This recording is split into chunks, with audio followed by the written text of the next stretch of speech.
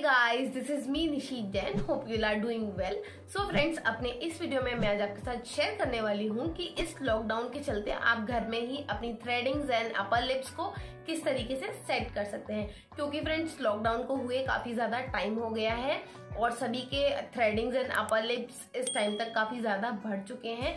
Even मेरे भी बढ़ चुके थे। मैंने अभी सेट कर लिए हैं। उसके बाद ही मैं ये इंट्रो शूट कर रही हूँ तो सभी के अपर लिप्स एंड थ्रेडिंग बहुत ज़्यादा बढ़ चुके हैं पार्लर कोई खुल नहीं रहे हैं। तो इसी को ध्यान में रखते हुए मैंने आज का अपना ये वीडियो बनाया है। तो इस वीडियो में मैं आपको दिखाऊँगी कि आप घर पर ही किस तरीके से बिल्कुल पार्लर जैसी आईब्रो सेट कर सकते हैं। आप मेरी आईब्रो भी देख सकते हैं, कितना नीटली एकदम सेट हुई है। ये मैंने इसी तरीके से की है जो आपको अभी मैं वीडियो में दिखाने वाली हूँ। इसके लिए हमें बहुत ज़्यादा कोई भी चीज़ नहीं चाहिए होगी। हमें चाहिए होगा एक सिंपल थ्रेड इस टाइप का थ्रेड आता है थ्रेडिंग करने वाला। अगर आपके पास ये वाला थ्रेड नहीं है तो भी कोई दिक्कत नहीं है। आप घर में ही जो नॉर्मल गिटक वाला थ्रेड होता है, उसको भी यूज़ कर सकते हैं। उसके साथ ही हमें एक सीजर्स की नीड रहेगी एंड एक ट्वीजर आई होप कि सभी के पास ये होगा। और एक हमें चाहिए होगी ब्राउ पेंसिल इस टाइप की ब्राउ पेंसिल अगर आपके पास ब्राउ पेंसिल है तो ब्राउ पेंसिल का यूज़ कर लीजिएगा। अगर आपके पास ब्राउ किट है तो ब्राउ किट का यूज़ कर लीजिएगा। तो ये चीज़ें हमें सिंपल चाहिए होंगी। तो चलिए देख लेते हैं कि मैंने किस तरीके से मेरी आईब्रोज को सेट किया है।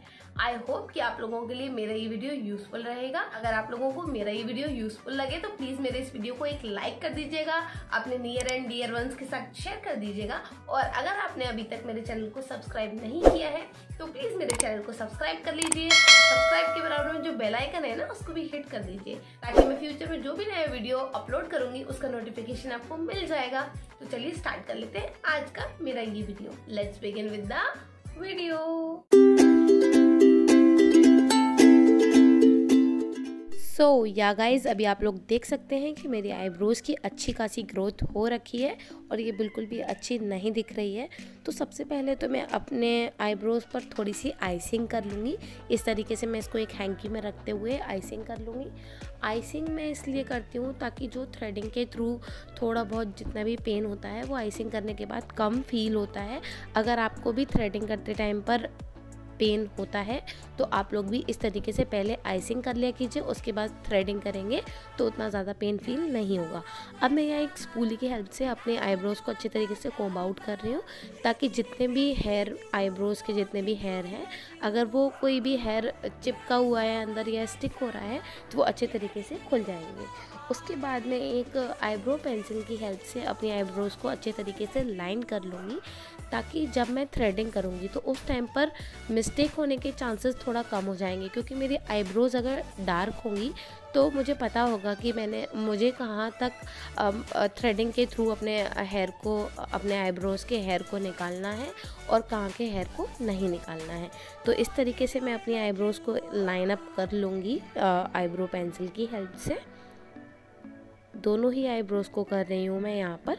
तो इसकी हेल्प से आप लोग देख सकते हैं कि अभी मेरी आईब्रोज़ डार्क हो गई हैं और अब मैं इसको एक स्पूली की हेल्प से कोम्ब आउट करते हुए इवन कर लूँगी। ताकि आ, अभी आप लोग देख सकते हैं कि मेरी आईब्रोज़ की शेप एकदम क्लियर दिख रही है मुझे यही शेप चाहिए। इसके अलावा अब जितने भी एक्स्ट्रा में हेयर होंगे वो सारे हेयर में निकाल दूँगी। फर्स्टली यहाँ मैं एक सीजर्स की हेल्प से ये जितने भी आ, ये आईब्रोज़ में आगे की साइड जितने भी ग्रोथ होते हैं ना उसको मैं एक सीज़र की हेल्प से कट कर दे रही हूँ। तो इस तरीके से मैंने यहाँ सीज़र की हेल्प से कट कर दिया है। दोनों ही आईब्रोज़ पे से जितने भी एक्स्ट्रा हेयर ऊपर की तरफ़ निकल रहे थे। उसके अलावा अब मैं यहाँ ये वाला थ्रेड लूँगी। ये आईब्रो बनाने वाला थ्रेड ही है। अगर आपके पास ये वाला थ्रेड नहीं है तो आप नॉर्मल गिटक वाला थ्रेड ले सकते हैं। और यहाँ मैं सिर्फ़ इतना बड़ा थ्रेड लूँगी। इसको मैं डबल कर लूँगी इस तरीके से। तो डबल करके मैंने इसको लिया है और यहाँ मैं इसमें एक नॉट लगा लूँगी। इसको आपको इस तरीके से नॉट लगा लेना है। बहुत ज़्यादा बड़ा लूप आपको नहीं बनाना है, सिर्फ़ इतना ही बड़ा बनाना है। बाकी आप अपने कंफर्ट के अकॉर्डिंग भी थोड़ा छोटा या बड़ा कर सकते हैं। इस तरीके से मैं आप, इसको अपनी थ्री फिंगर्स में फंसाते हुए ट्विस्ट करूँगी। आपको तीन से चार बार ही ट्विस्ट करना है। और अभी आप लोग देख सकते हैं, बहुत सिंपल है इससे बनाना। सिर्फ़ इसको इस तरीके से सीजर्स की तरह चलाना है। और इजीली ये आपके जितने भी हेयर हैं, उनको प्लक आउट करता जाएगा। आई नो कि वैक्सिंग और ट्रिमिंग के थ्रू आईब्रोज़ बनाना थोड़ा ईजी होता है, लेकिन मुझे पर्सनली ऐसा लगता है कि जब आप थ्रेडिंग के थ्रू आईब्रोज़ कराते हैं तो बहुत ही ज़्यादा एक नीट और क्लीन लुक आता है। तो इसीलिए यहाँ मैं थ्रेडिंग के थ्रू ही करना बता रही हूँ आप लोगों को।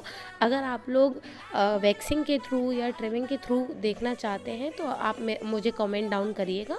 मैं उसके ऊपर भी एक वीडियो बना दूँगी। तो यहाँ अभी मैंने मेरा प्लकर ले लिया है। प्लकर मैंने आपको दिखा दिया था और यहाँ जब मेरे पास प्लकर नहीं था तो ये मैं मेरी मैनिक्योर पेडिक्योर किट में से एक प्लकर टाइप का होता है, उसको यूज़ करती थी। अगर आपके पास प्लकर नहीं है और ऐसा कुछ है तो आप उसको भी यूज़ कर सकते हैं। और यहाँ अब मैं, मेरे जो बिल्कुल अंडर स्किन हेयर रह गए थे। उनको प्लगर की हेल्प से निकाल दूँगी और यहाँ मेरी ये वाली आईब्रो डन हो गई है। दूसरी वाली भी मैंने ऑफ़ कैमरा जाके कर ली थी तो इस तरीके से मेरी दोनों आईब्रोज़ हो गई हैं। अब मैं यहाँ अपर लिप्स करने वाली हूँ। अपर लिप्स करने से पहले मैं थोड़ा सा लूज़ पाउडर अप्लाई कर रही हूँ। आप लोग चाहें तो आईब्रोज़ करने से पहले भी लूज़ पाउडर आईब्रोज़ पे अप्लाई कर सकते कर सकते हैं। मैंने इसलिए नहीं किया था क्योंकि मैं एसी में बैठ कर कर रही थी तो उतना ज़्यादा स्वेटिंग वगैरह नहीं हो रहा था, लेकिन मैंने अपर लिप्स पर कर लिया क्योंकि वहाँ थोड़ा थिन हेयर होता है ना तो उसको निकालने में थोड़ी सी प्रॉब्लम होती है।